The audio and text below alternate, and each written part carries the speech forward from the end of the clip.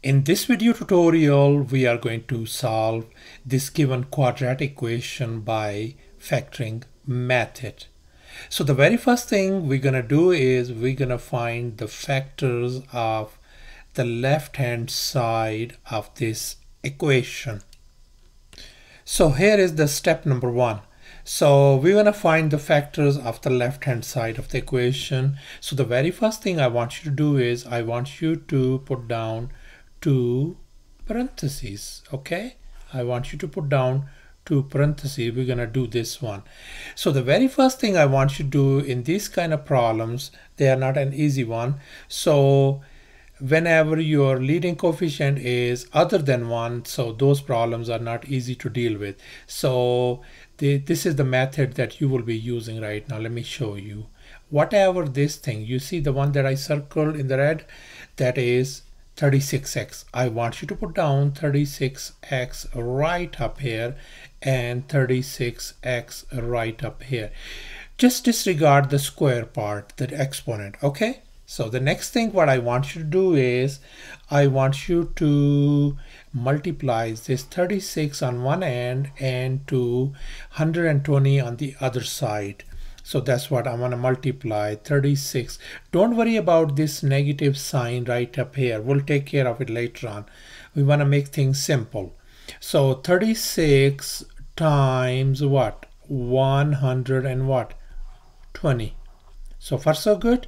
So now what we're gonna do is we're gonna I don't want you to be multiplying 36 times 120. It's going to give you big number and that's going to be very tedious kind of process. The simpler approach is going to be like this one. I want you to think of some factors of 36 that going to work for us. I have come up with this one and you can do this thing by doing practice 4 and what 9 is 36 isn't it? How about 120 is what?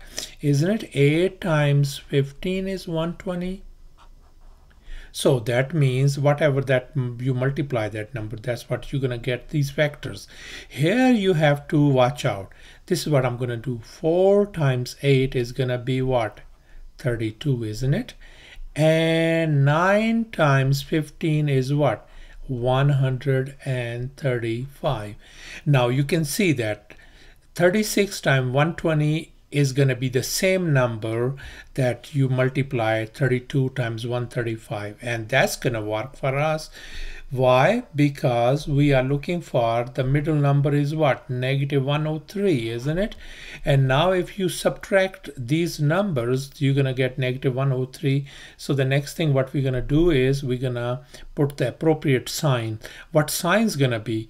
Right now, that's going to be a negative 135 and that's going to be a positive 32 so these numbers going to work for us so we're going to go ahead and put down those numbers right up here here I'm going to put down plus 32 and here I'm going to put down what negative 100 and what 35 so far so good. So now the next step, what I want you to do is you have to be careful with these ones. Look at this very first parentheses, 36 and 32. Ask yourself, what are the numbers that are really that could be factored out or the in common? So 4 divides into both of them at the same time, isn't it? So 4 is divisible on both sides. Likewise, look at this thing 36 and 135. What are the common number that that goes into both of them at the same time? Isn't it 9 on both sides? So you do this thing.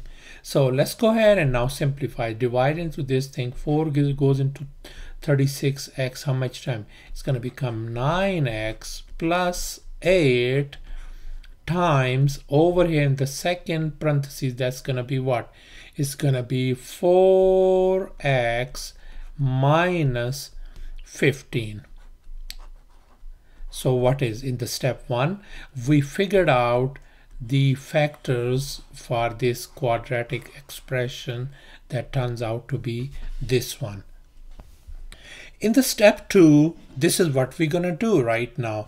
We already figured out the factors on the left hand side and what are those factors we know that those are what 9x plus 8 times 4x minus 15 we figured them out in the very first step and set it equal to 0 now you know that thing when we have a two factors equal to 0 you can split them up. I'm going to put down 9x plus 8 equal to 0 and the second one is going to be what? 4x minus 15 equal to 0 here I want you to subtract 8 we want to uh, solve for x so this can cancels out so we got 9x equal to negative 8 divide both side by 9 so we got x equals to what? Negative 8 over 9. That is our one of the solutions. And on this side, we're going to add 15 on both sides. What happened? This is gone. 4x equals to 15. I want you to divide both sides by 4 and x turns out to be how much? 15 over 4 so we got two solutions and that are those are our answers that's all you have to do thanks for watching and please subscribe to my channel for more exciting videos